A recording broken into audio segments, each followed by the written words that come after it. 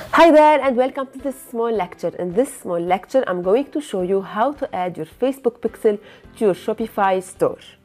So the first thing you should be doing is to head to your ad manager and to go to your pixel section. We are going to create a new pixel for our store. So you go in here and you click on create a pixel. You name your pixel, pick any name you find relevant. And below in here you can add your website URL. This is not mandatory. I'm not going to add my website URL. If you want to add yours, it's okay. Do it. So, and I'm going to click in here. So my pixel is now being created. I'm going to give it a few seconds.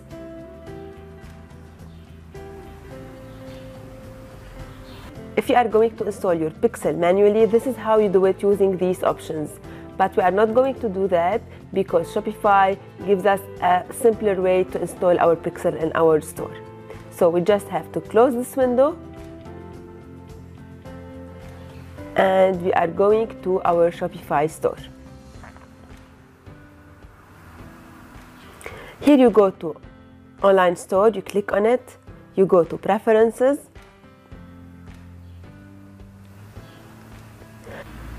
So we are going back to Facebook and we are going to copy the ID of our pixel and we are going to paste it on Shopify.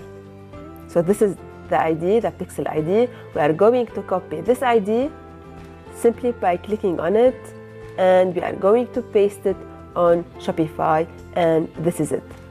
You just have to save now your work and you have installed your pixel on your Shopify store. To make sure that your pixel is well installed on your store, there is a Chrome extension that will help you do that. I'm going to show you how to add this Chrome extension to your browser and how to make sure your pixel is well installed.